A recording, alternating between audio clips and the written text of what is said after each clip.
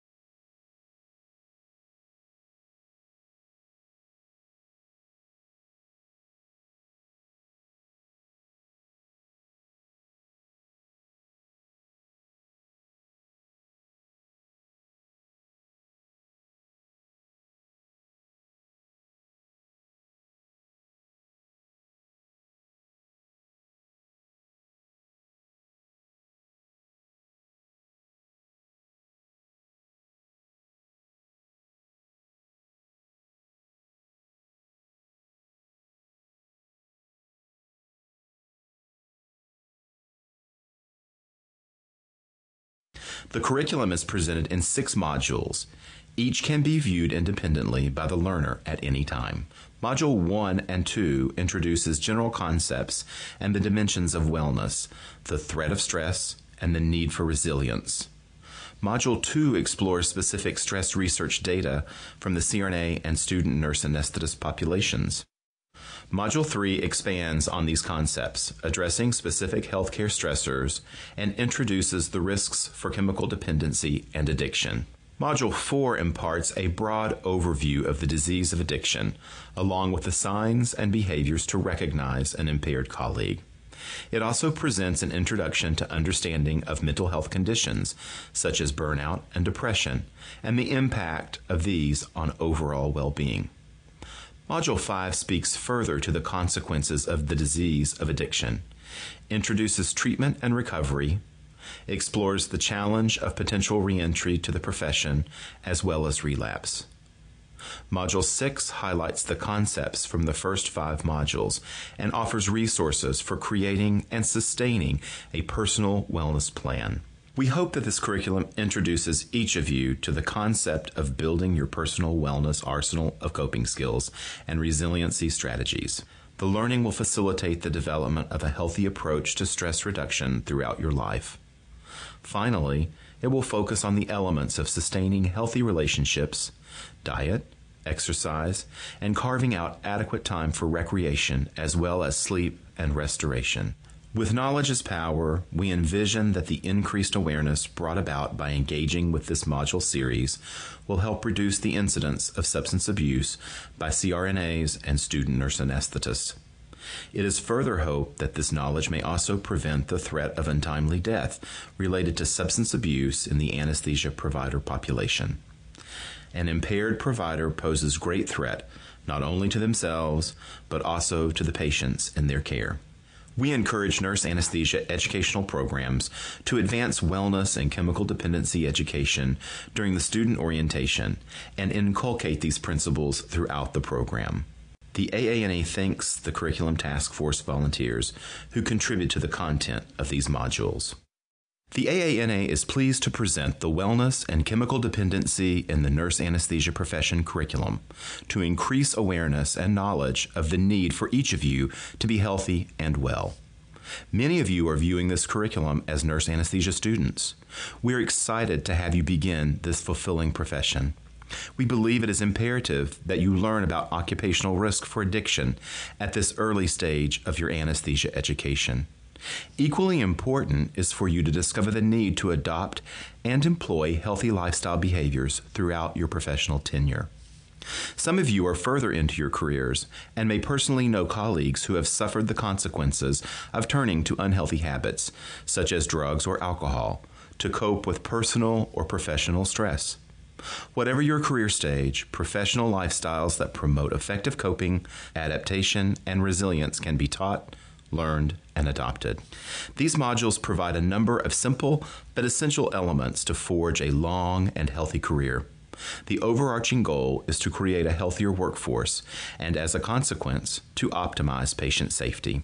The curriculum is presented in six modules. Each can be viewed independently by the learner at any time. Module 1 and 2 introduces general concepts and the dimensions of wellness, the threat of stress, and the need for resilience. Module 2 explores specific stress research data from the CRNA and student nurse anesthetist populations. Module 3 expands on these concepts, addressing specific healthcare stressors, and introduces the risks for chemical dependency and addiction. Module 4 imparts a broad overview of the disease of addiction, along with the signs and behaviors to recognize an impaired colleague. It also presents an introduction to understanding of mental health conditions, such as burnout and depression, and the impact of these on overall well being. Module 5 speaks further to the consequences of the disease of addiction, introduces treatment and recovery, explores the challenge of potential reentry to the profession, as well as relapse. Module 6 highlights the concepts from the first five modules and offers resources for creating and sustaining a personal wellness plan. We hope that this curriculum introduces each of you to the concept of building your personal wellness arsenal of coping skills and resiliency strategies. The learning will facilitate the development of a healthy approach to stress reduction throughout your life. Finally, it will focus on the elements of sustaining healthy relationships, diet, exercise, and carving out adequate time for recreation as well as sleep and restoration. With knowledge as power, we envision that the increased awareness brought about by engaging with this module series will help reduce the incidence of substance abuse by CRNAs and student nurse anesthetists. It is further hoped that this knowledge may also prevent the threat of untimely death related to substance abuse in the anesthesia provider population. An impaired provider poses great threat not only to themselves, but also to the patients in their care. We encourage nurse anesthesia educational programs to advance wellness and chemical dependency education during the student orientation and inculcate these principles throughout the program.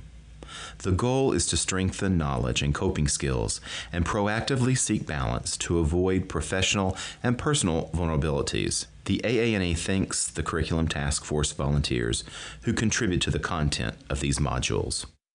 The purpose of this module is to introduce anesthesia professionals to the inherent stress encountered in the workplace, unique vulnerabilities of the anesthesia profession, and to explore strategies for staying well under these conditions.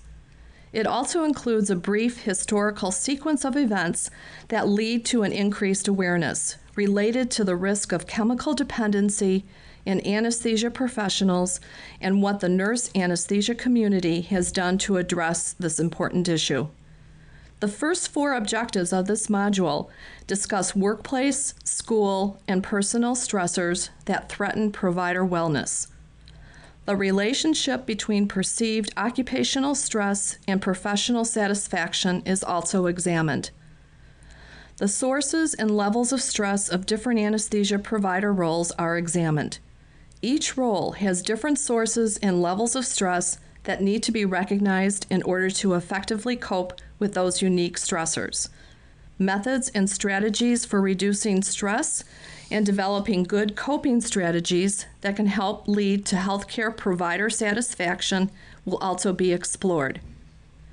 The remaining four objectives will continue to discuss how stress, burnout, and exhaustion, often inherent in the anesthesia profession, can contribute to maladaptive coping behaviors, including substance misuse, a brief history of substance misuse in the anesthesia profession, and factors that contribute to an increased vulnerability of emotional illness, suicide, and chemical dependency in the anesthesia professional. The stress of the anesthesia profession is often compared to the airline and other safety intensive industries when it comes to inherent stress. The high level of responsibility, especially during takeoff and landing of both an airplane and an anesthetic, have been well documented. Many professionals have stressful jobs. What makes anesthesia unique are the many contributing factors that can turn the inherent stress of the profession into issues that are potentially detrimental to both the anesthesia provider and their patients. Workplace environment, personality, and personal resilience all play a role in this equation. The stress varies by individual as well as the role in which they are serving. The amount of stress experienced will influence the individual's sense of well being as well as their professional satisfaction. Although it is impossible to change the stress that comes with the anesthesia profession, it is possible to identify factors that contribute to workplace or school stress improve our knowledge on how to cope with the stress, and to avoid maladaptive behaviors through education about wellness and stress management. There are many factors in our daily lives, both personally and professionally, which can add stress and affect our overall wellness. Stress can occur not only in your personal life, but also in school or on the job. Every profession, including being a student, has its own unique set of stressors. It is important to examine job factors that contribute to workplace stress so that you can work to minimize the impact they have on you and to find effective ways to cope with those stressors that you cannot change. Job demands produce stressors that are sometimes uncontrollable. Today's reality is working long hours, having fast paced turnover, and increasing financial pressures. There can also be factors such as harassment, conflict, unclear roles, politics, or discrimination that add to stress in the workplace. Making adjustments in your personal life to reduce stress should be considered to cope with increasing occupational demands. Personality also plays a contributing role in how you manage workplace or school stress. The ability to recognize personal factors that might add to your stress may help avert further problematic issues. Knowing the limitations of your ability and skill set and gaining necessary skills reduces undue stress in highly technical environments. Lacking material resources such as financial security or psychological resources such as effective coping skills can also increase stress levels. Climbing the ladder of success produces stress when trying to achieve personal goals, and likewise may cause further stress when personal goals are not met. Set reasonable expectations and life goals. Do not hesitate to seek professional counseling to help find potential solutions. In addition, we all face multiple internal and external pressures that threaten wellness. Practicing nurse anesthetists often compartmentalize some of their personal emotions and issues from their daily professional practice, which could affect patient care. The ability to compartmentalize these emotions leads many times to ignoring personal facets of their lives. Sorting out personal issues and reflecting on them periodically, or raising or lowering personal expectations helps individuals arrive at suitable decisions making for healthy lifestyle choices.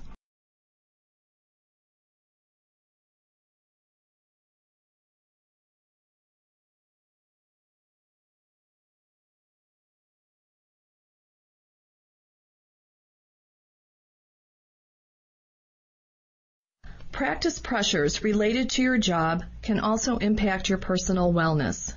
Anesthesia is a stressful and demanding job requiring a level of vigilance that can never lapse to ensure patient safety. The constant demands of the practice of anesthesia come from many facets. Each of these facets are time sensitive and demand a rapid, informed decision for resolution to prevent catastrophic events. Some of the demands facing the anesthesia provider include those listed. Patient safety is foremost in the mind of an anesthesia provider during the perioperative period, and a litigious society creates high expectations for the nurse anesthetist. Nurse anesthetists are expected to perform at a very high level without error. With today's rapid communication, many providers become overloaded with information. Nurse anesthetists are expected to perform all of these tasks and decisions in a short period of time. Lastly, case turnover demands put extra stress on the nurse anesthetist. Can you think of others that might be included in the list? Prolonged stress, whether job related or personal, can manifest through physical, emotional, and cognitive signs and symptoms, and eventually through behavior. Both workplace and personal stress can lead to a number of physical ailments by reducing the immune system, thereby allowing more frequent infections to occur. Mouth and other ulcerations, as well as skin irritations and rashes, can be stress related. Asthma is worsened by stressful situations, as are existent cardiac problems. Weight loss and gain, headaches, and tiredness have all been linked to unmanaged stress.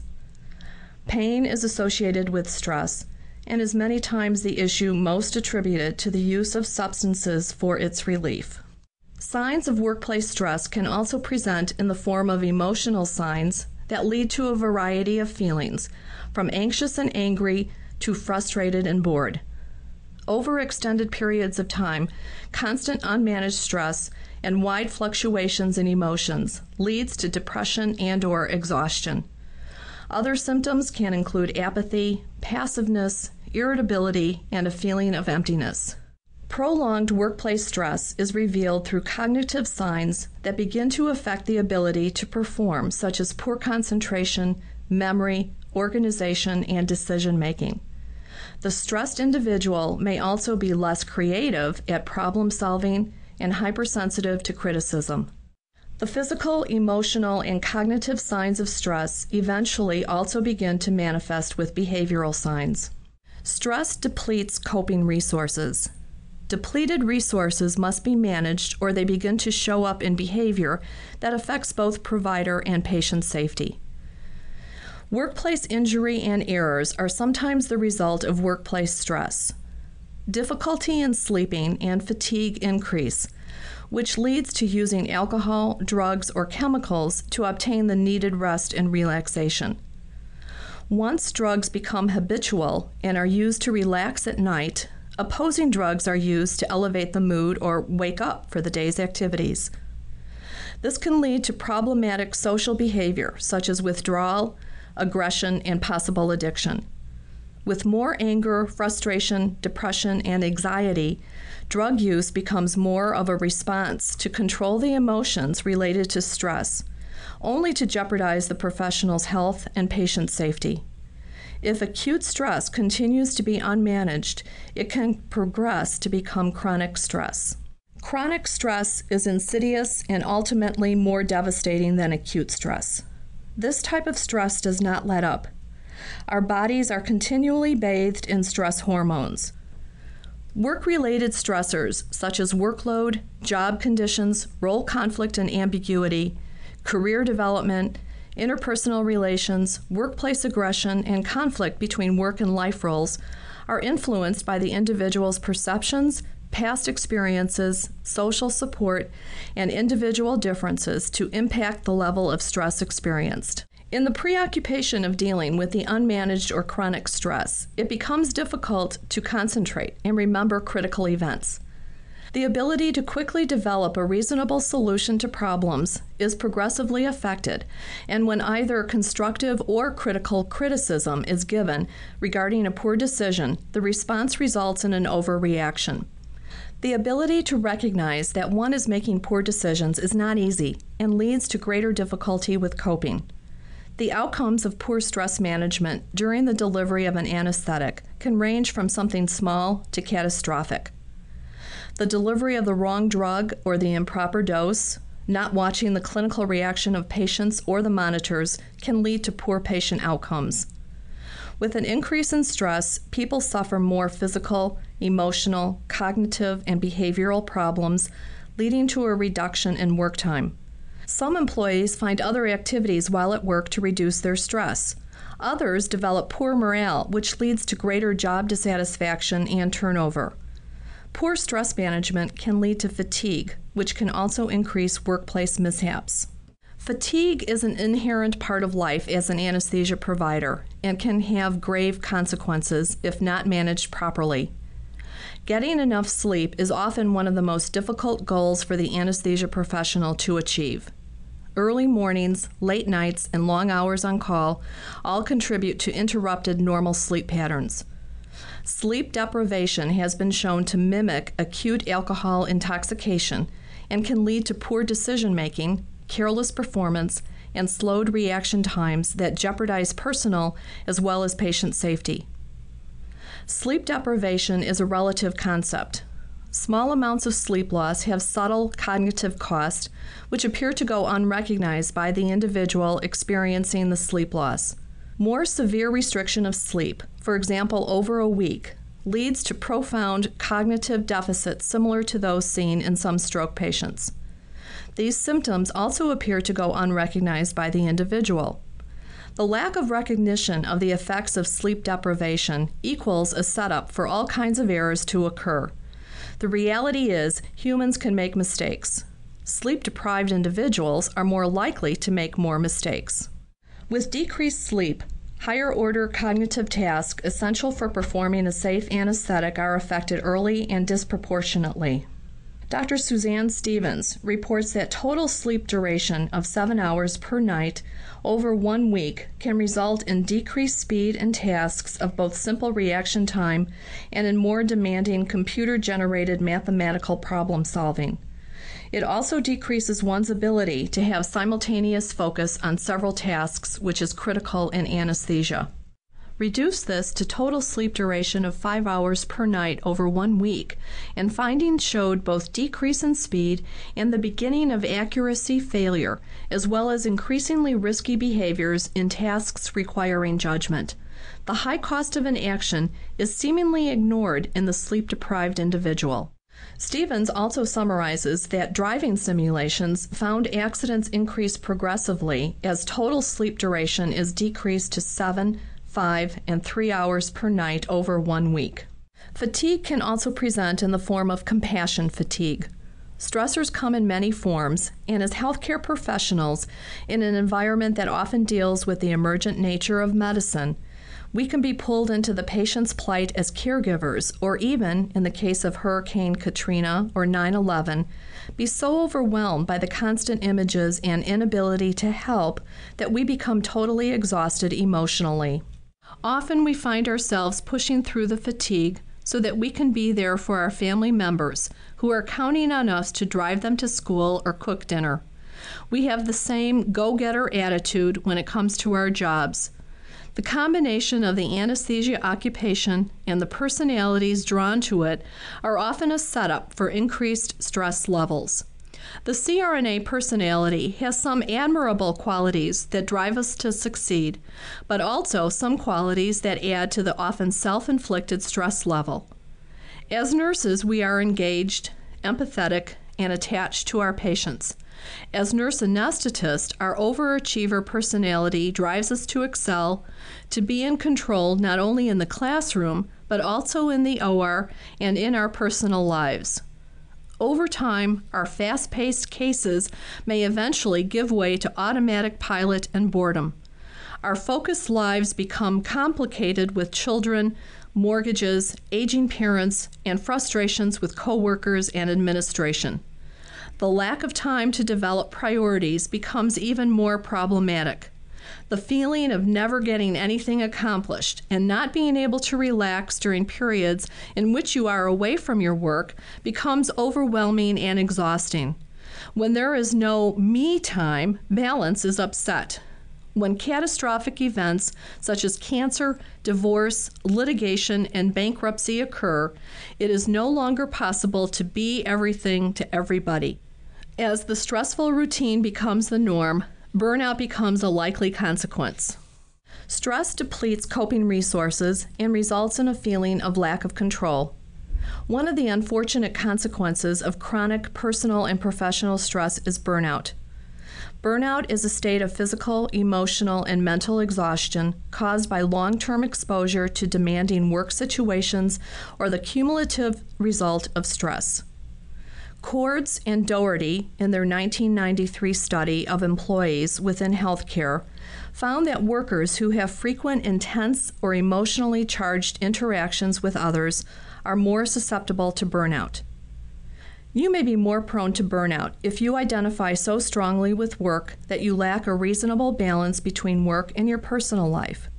If you try to be everything to everyone, or if your job is monotonous.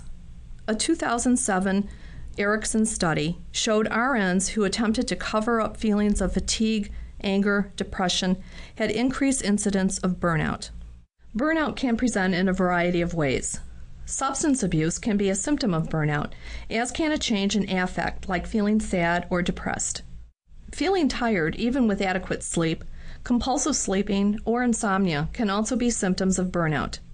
Work dissatisfaction and boredom decrease idealism and work motivation.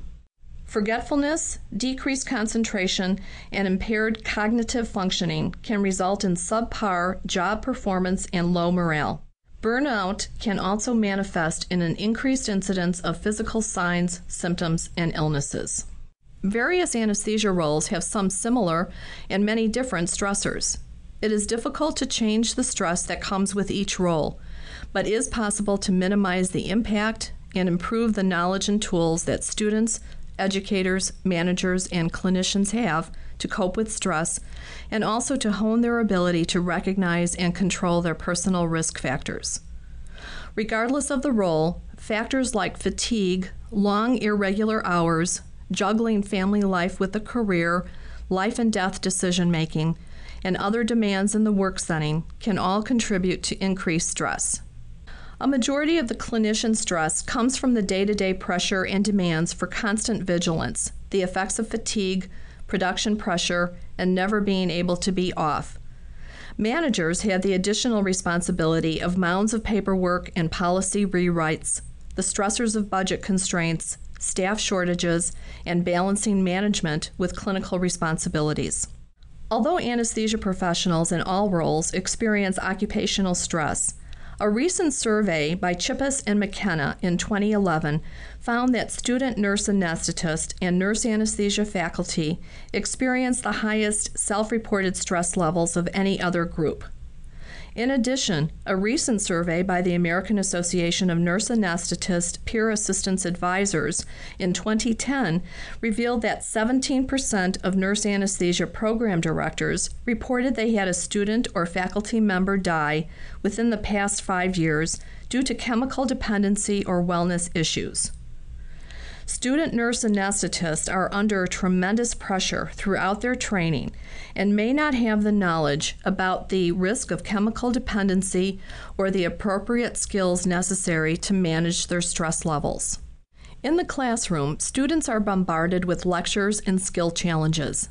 They have the emotional experience of no longer being the expert in the nursing unit, but a novice in a new environment.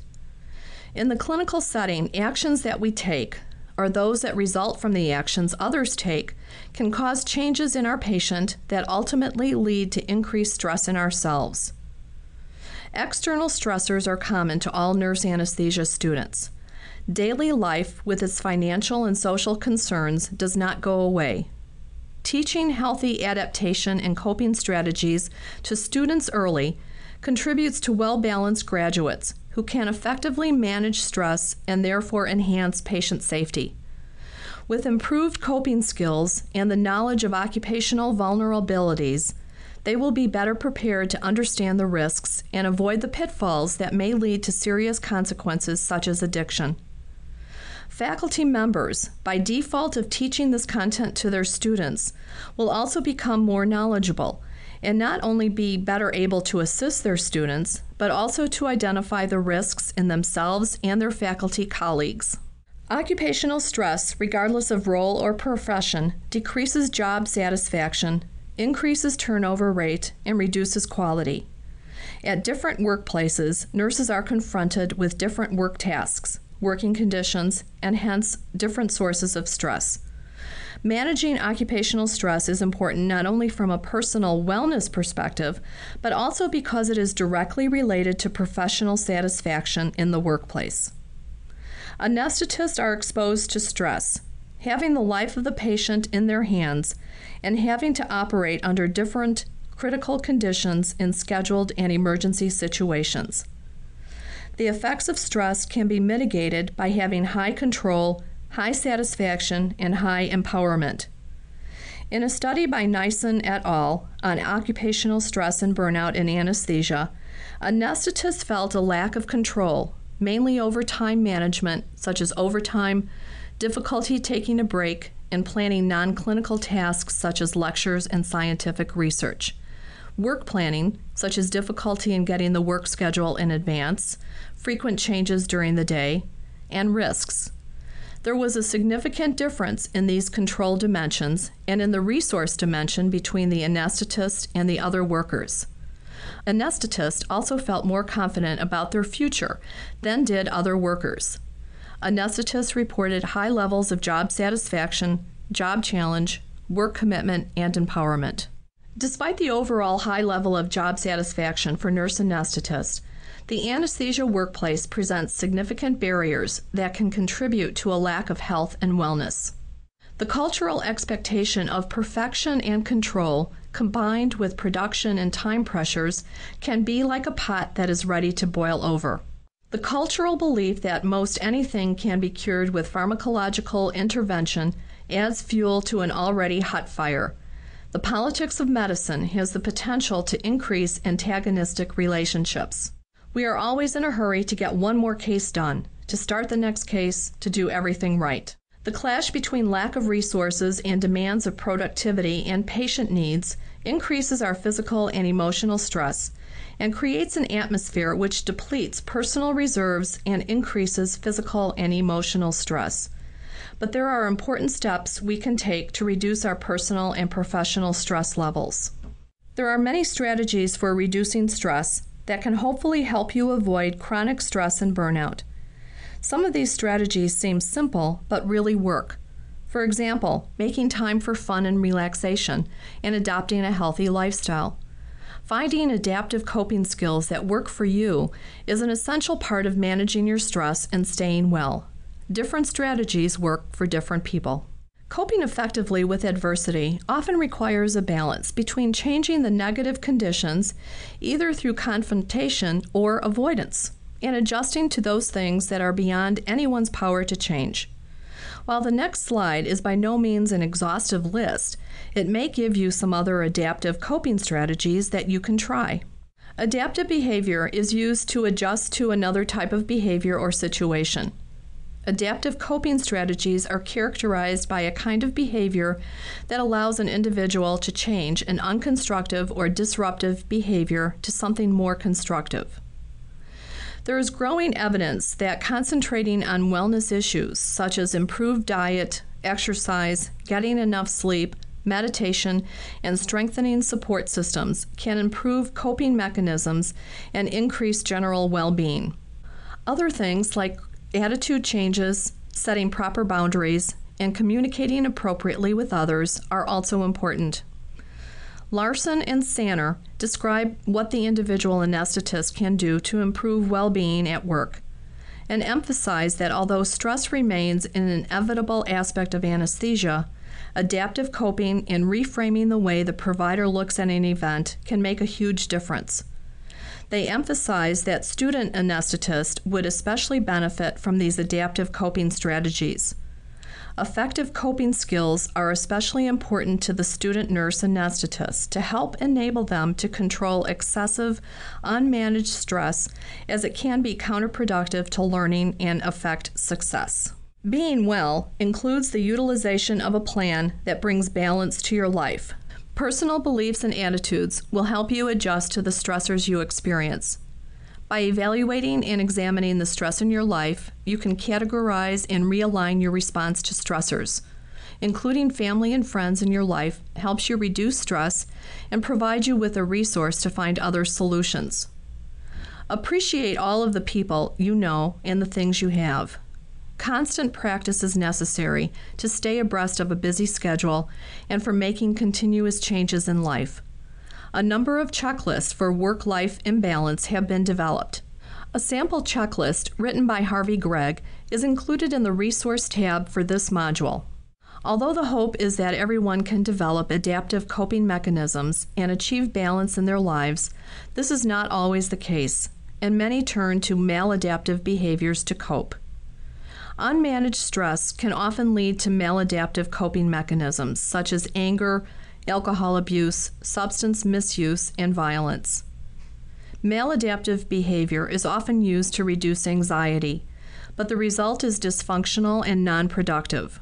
For example, avoiding situations because you have unrealistic fears may initially reduce your anxiety, but it is non productive in alleviating the actual problem in the long term.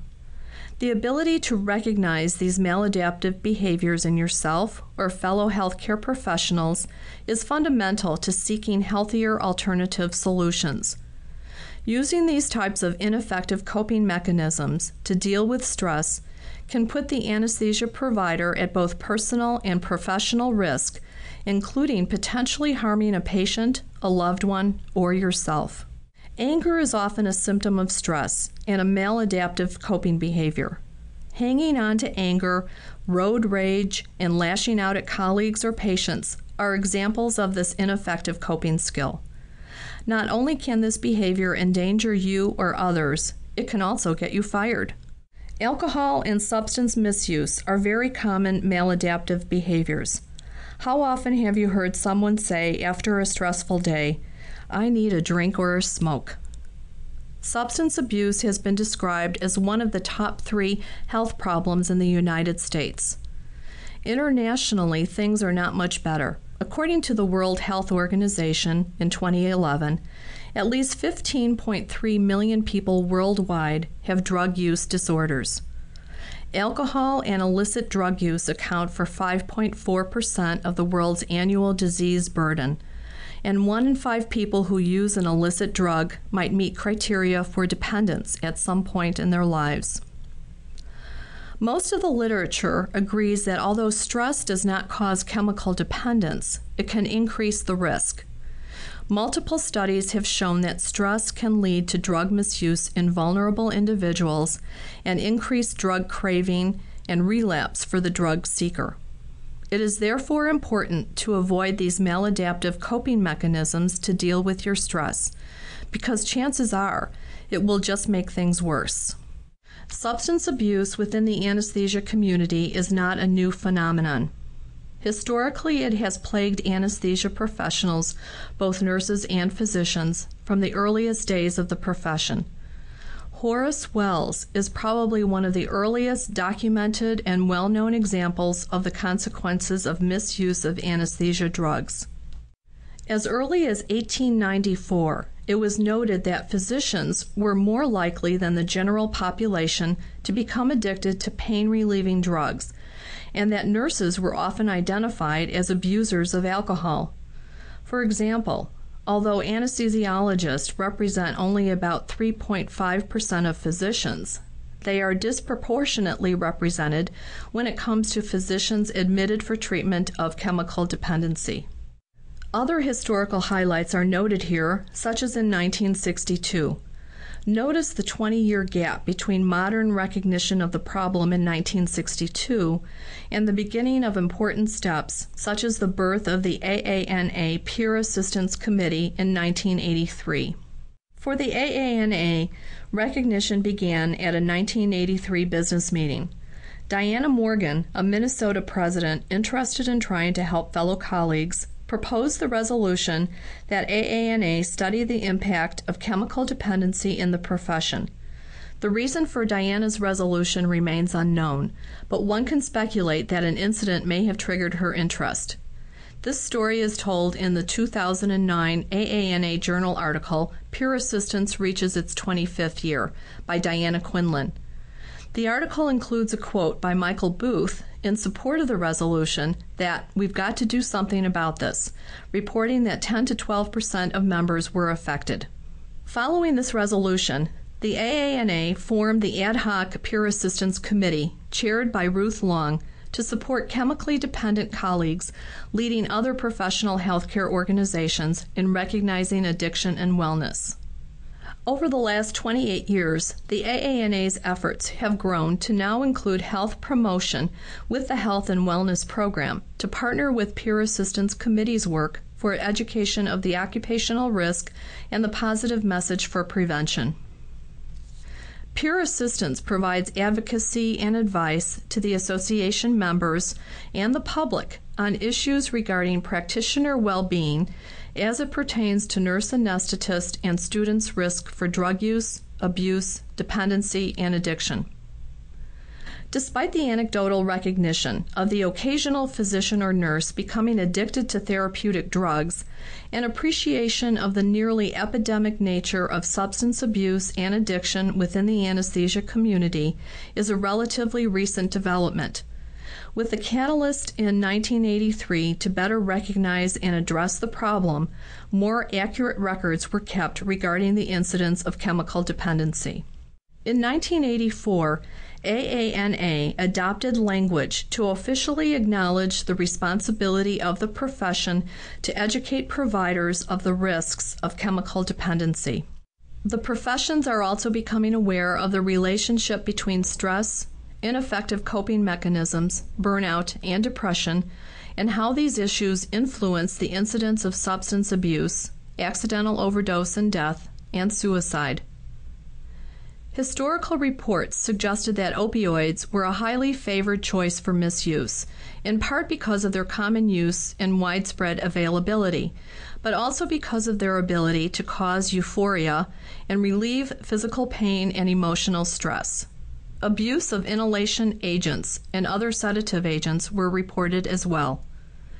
In the late 1980s, propofol was introduced to clinical practice as an induction agent. Because of its ability to produce euphoria, a sense of well being, and a well rested state, it has become a common drug of choice among anesthesia professionals. Unfortunately, propofol has a very narrow therapeutic index, making it a difficult drug for users to titrate. Overdoses and deaths from propofol are becoming more common as its abuse becomes more widespread. As early as 1992, propofol diversion misuse was reported. While historical studies have shown little relationship between the degree of accounting for drug use, limitation of access to specific agents, and their misuse by anesthetists and anesthesiologists, the FDA has recently made propofol a scheduled drug.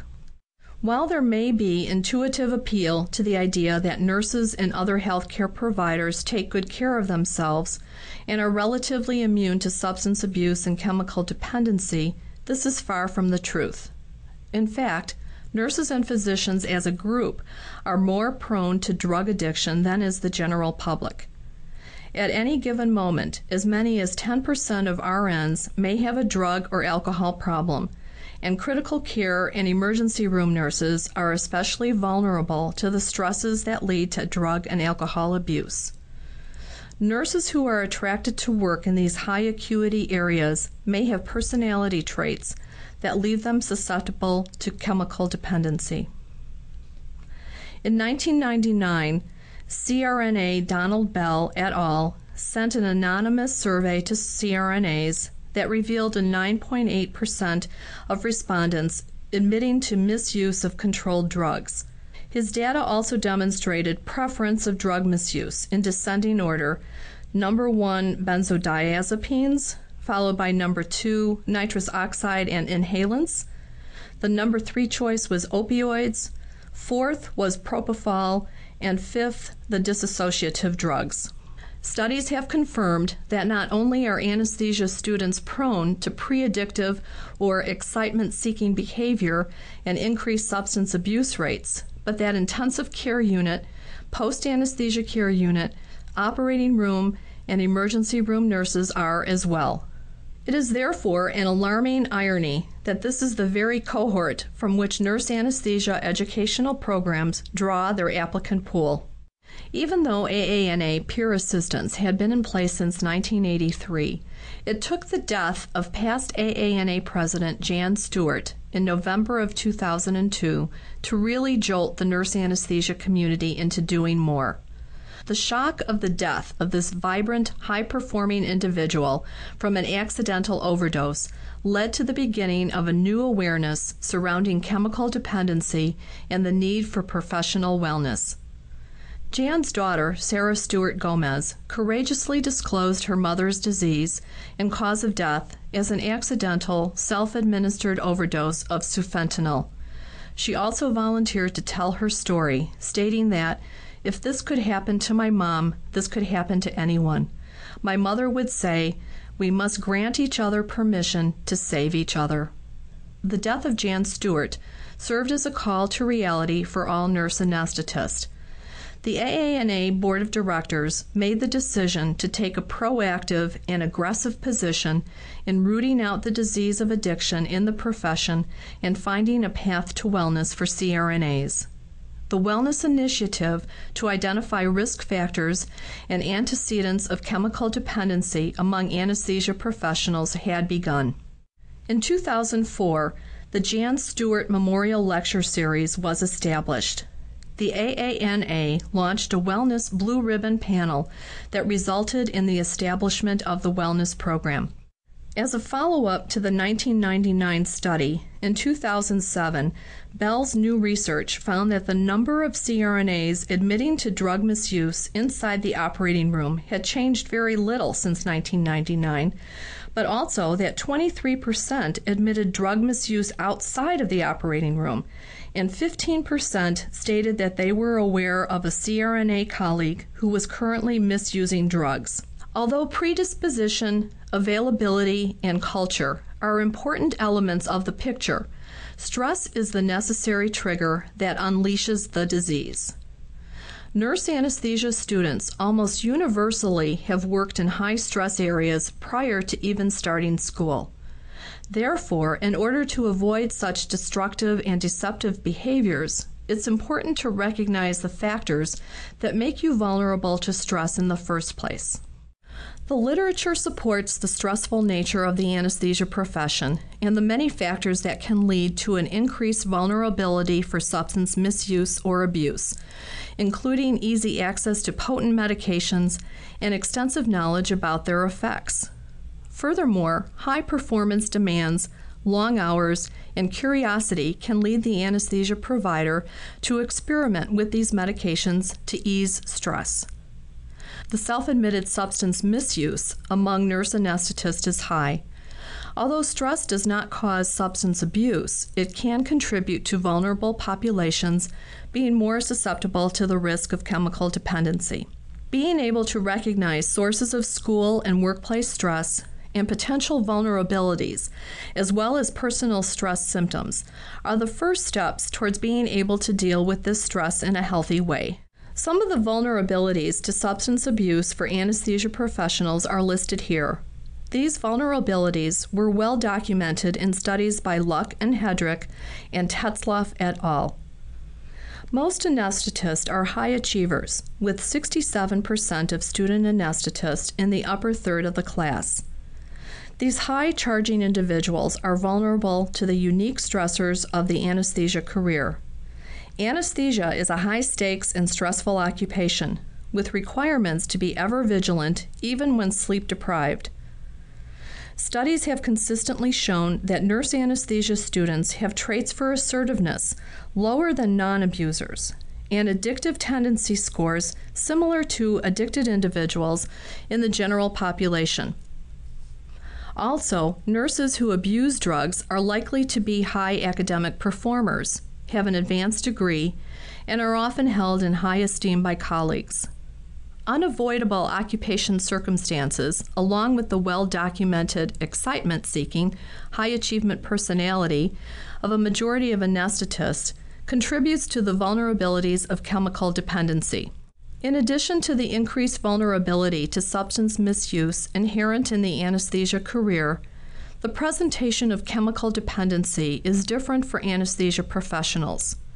Most notably, dependence often occurs rapidly in anesthesia professionals as compared to the slower emergence of addiction in the general lay community.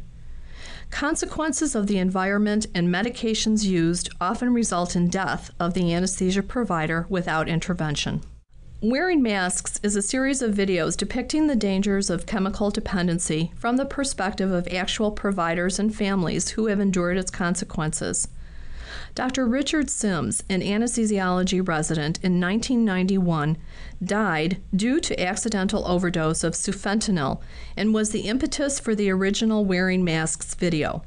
His wife disclosed his curiosity about the relaxation he saw in his patients' faces when he put them to sleep. Dr. Sims also misused and had a problem with alcohol. The first Wearing Masks video was produced by the American Society of Anesthesiologists by Dirk Wales. Dr. John H. Leckie, the medical consultant on the video, was himself using fentanyl while chair of the ASA Committee on the Health of Operating Room Personnel, proving the point that denial is a mainstay of addictive disease. Subsequent Wearing Masks videos were produced by the AANA and are available on the AANA website to download and view. The resources with this educational module include an article on the history of AANA peer assistance and list early pioneers who worked to support research, education, and acceptance for the recovering CRNA. Today, this work continues through CRNA and SRNA volunteers on the AANA Peer Assistance and Health and Wellness Committees and the state peer advisors. The wellness movement has also reached further with health promotion and addiction prevention within state associations, nurse anesthesia programs, and individual workplaces. Growth is also seen in the number of students who have taken the opportunity to continue research of the topic of chemical dependency, addiction, and wellness. The current AANA Health and Wellness Program, formerly known as the Wellness Program, was officially launched in February 2004, less than two years after the death of AANA past president Jan Stewart.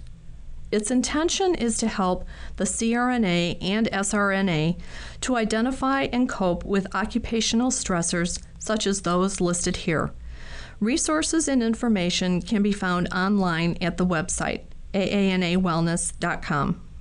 Change theorist Kurt Lewin states an issue is held in balance by the interaction of two opposing sets of forces those seeking to promote change, the driving forces, and those attempting to maintain the status quo, restraining forces. This theory can be easily applied to the AANA's goal of promoting the well professional. By optimizing the positive driving forces and minimizing the restraining obstacles to change, we can continue on the path to professional and personal wellness. Occupational stress, burnout, and fatigue are risks to the anesthesia profession. The ability to develop effective and avoid maladaptive coping strategies increases professional satisfaction and personal wellness. Ineffective coping and unrecognized risk can lead to depression, chemical dependency, or even suicide. This module has discussed the fact that although it is impossible to change the stress that comes with the anesthesia profession or the inherent personalities that individuals bring, it is possible to improve the knowledge that students, educators, and anesthesia providers have on how to better arm themselves to cope with the stress, to recognize the vulnerabilities, and control the risk factors. Hopefully, this knowledge will help anesthesia students and providers to avoid the pitfalls of destructive behavior through recognizing the importance of wellness and stress management. The AANA has recognized the value of a wellness and chemical dependency curriculum. Finding healthy ways to deal with your stress will help you manage it before it manages you.